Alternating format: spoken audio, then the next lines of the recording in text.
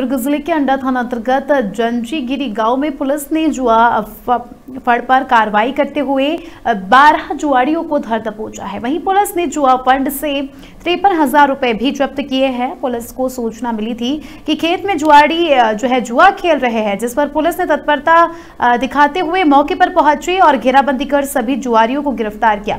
इस मामले में पुलिस सभी के खिलाफ जुआ एक्ट के तहत केस दर्ज कर रही है। फ़िलहाल पुलिस मामले में आगे की कार्रवाई कर रही है।